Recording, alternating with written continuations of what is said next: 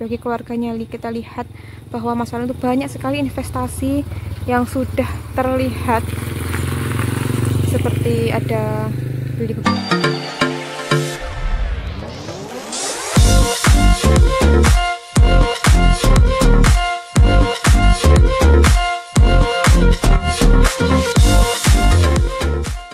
Halo assalamualaikum warahmatullahi wabarakatuh. Ketemu lagi di channel kami Suka Jalan Halo teman-teman kami ingin berbagi informasi. Di sini kita berada di lahannya Mas Farel ya. Ini adalah tanahnya Mas Farel dan keluarganya. Di sini ada warung dan juga ada kolam ikan di sana. Di sini ada tempat main biliar. Dan mungkin teman-teman banyak yang belum tahu bahwasanya Mas Farel itu juga punya investasi yang lain. Ada beberapa rumah teman-teman. Jadi rumah utamanya yaitu rumah keluarganya Mas Farel yang direnovasi. Yang kedua itu yang dulu kalau teman-teman ingat yang setelah pulang umroh. Jadi Mas Farel itu diarak di masjid. Nah rumahnya itu sebelah masjid sana rumah pribadinya Mas Farel. Dan yang terakhir ini yang baru-baru ini belum lama keluarga Mas Farel juga membeli rumah teman-teman. Ya ini adalah rumah ketiga yang dimiliki oleh keluarga Mas Farel. Rumah ketiga mulai dari gerbang sini mulai dari gerbang sini rumah yang sebelah ini ya teman-teman. Kalau ini saudaranya. Jadi rumah yang sebelah sini sampai belakang ini posisinya berada di samping warungnya Mas Farel. Jadi kalau rumah utama itu gangnya sebelah sini teman-teman. Rumah utama tuh gangnya masuk ke sini ya. Nah ke sini ini gang utama masuk ke rumah Mas Farel.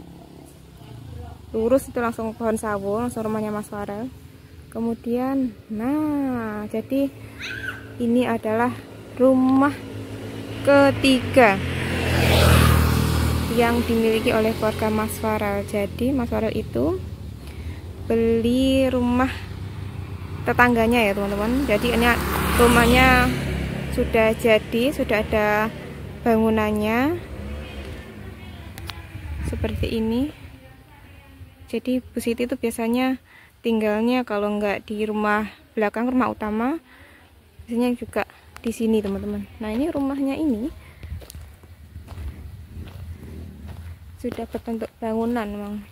Depannya ini ada warung teman-teman. Dulu sebelum dibeli keluarga Mas Farel dulu ini warungnya buka teman-teman. Namun setelah dibeli keluarga Mas Farel sekarang e, belum dioperasikan lagi ya. Masih belum tahu mungkin nantinya ke depannya mau dibuat usaha apa sama keluarga Mas Farel. Tapi kemarin Mas Fanus itu e, usaha jual beli e kaset beli jual keset gitu teman-teman. Jadi ini buat gudangnya keset sama Mas Vanus jadi ini pas di bergandengan ya. Bergandengan namun ada pembatasnya yaitu ada aliran air ya ada sungai kecil di pembatasan antara warung barunya Mas Fala dan rumah barunya ini. Nah kalau kita lihat itu mepet ya mepet sama warung. Mepet sama warung teman-teman dan itu luas sekali teman-teman. Kita lihat ya dari depan situ ya rumahnya sampai ke belakang. Ini warungnya. Bu Siti buka. Biasanya yang nunggu itu Mas Fanus. Ada mobilnya Mas Fanus juga terparkir di sini. Kita lihat. Kita sambil lihat sekelilingnya ya teman-teman. Ini ada biliar biliarnya itu kalau malam ramai teman-teman. Jadi kalau eh, siang-siang gini sepi ya. Mungkin nongkrongnya main biliar ini pas malam. Biasanya tuh banyak kulit-kulit kacang di sana nongkrong habis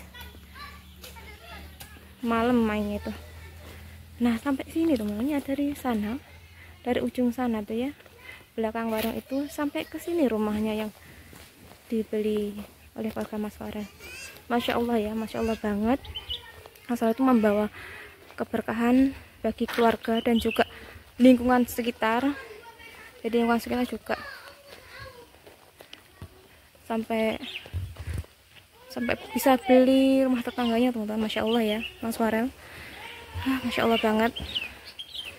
Idola kita lihat. Jadi bangunannya sampai situ. Dari depan sana sampai ke sini.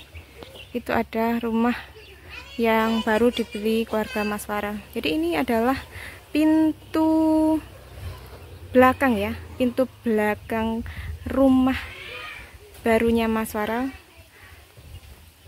Itu tembus sama panggung ini teman-teman ya. Pasti bagi kalian masih banyak yang belum tahu ya. Tapi sebenarnya ini sudah lumayan lama teman-teman ya. Tapi setelah membeli rumah yang dulu teman-teman kalau ingat ya itu waktu Mas Farel umroh itu Mas Farel langsung diarak ke masjid. Kalau ada yang ingat nggak?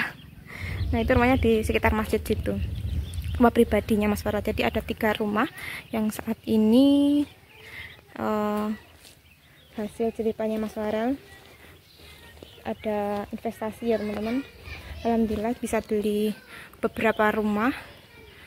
Jadi rumah utamanya di sana Di pojokan itu Itu rumah utamanya tadi teman-teman. Eh yang pertama yang dulu uh, gedek itu teman-teman Yang dulu itu berbentuk dari bambu. Sekarang sudah alhamdulillah sudah bagus sekali sudah kokoh berenovasi rumahnya. Kemudian yang kedua rumah pribadinya Mas Warel yang kita nggak bisa sebut di mana itu.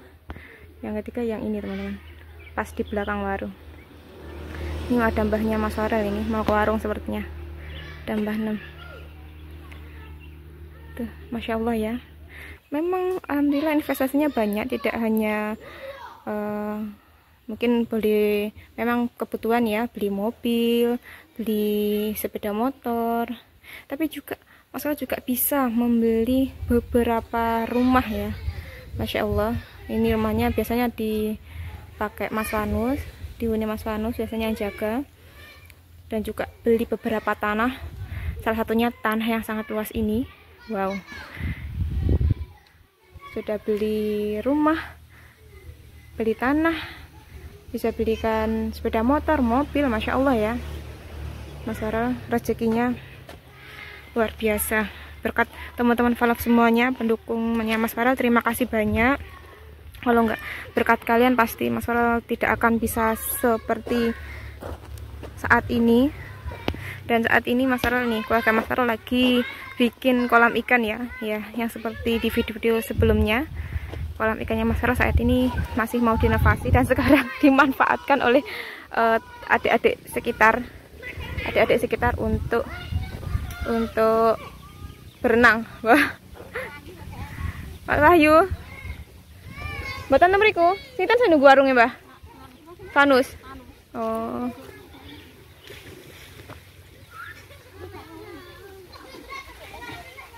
Banem cari Wahyu teman-teman. Nah kalau kalian tahu ya teman-teman masalah itu sangat memberi keberkahan bagi keluarganya dan lingkungan sekitar. Juga pasti teman-teman yang ada di YPS semuanya. Semuanya. Mas Farul itu banyak memberi keberkahan bagi semuanya. Masya Allah bagi keluarganya. Kita lihat bahwa Mas Farul itu banyak sekali investasi yang sudah terlihat seperti ada beli beberapa rumah salah satunya rumah ini. Dan juga ada rumah pribadinya Mas Farah. Jadi Mas Farah juga sudah punya rumah pribadi teman-teman. Tapi kita gak bisa sebut di mana lokasinya. Yang pasti itu rumah pribadinya Mas Farel yang hasil jerih payah Mas Farah dan juga ini rumah yang baru dibeli. Keluarganya Mas Farel yang dekat dengan warung. Dan juga sudah merenovasi rumah utamanya rumah keluarga Mas Farel ini tentunya buka teman-teman. Kalau bisa lihat ya. Itu ada Mas Wanus biasanya yang menunggu rumah ini. Karena Mas Wanus juga karena Mas Fanus juga jaga warung. Masya Allah. Idola kita. Alhamdulillah uh, sudah sejak kecil ya bisa mensejahterakan keluarganya. Ini juga tanah seluas ini. Ada tanah rumah mobil motor semuanya. Sekarang mau ada usaha tempat pemancingan ya semoga kita doakan saja semoga semuanya bisa diberikan kelancaran keberkahan. Dan semoga kita semua diberi kesehatan ya diberi kelancaran rezeki juga. Udah cukup sekian ya teman-teman video kali ini. Updatean Mbak Suka Jalan hari ini semoga bisa dipetik hikmahnya dari semua ini ya. Wow. mungkin teman-teman banyak yang belum tahu ya makanya Mbak Suka Jalan review memperjelas. Jadi idola kita itu sungguh luar biasa luar biasa menjadi bisa mensejahterakan keluarganya bisa usaha ini itu. Jadi kerja kerasnya selama ini itu terlihat nyata teman-teman. Terlihat nyata. Udah cukup sekian video kali ini teman-teman. Bagi kalian yang belum like belum subscribe tolong di subscribe terima kasih sudah menonton. Jangan lupa like comment share dan subscribe. Makasih. See you on next video. Bye bye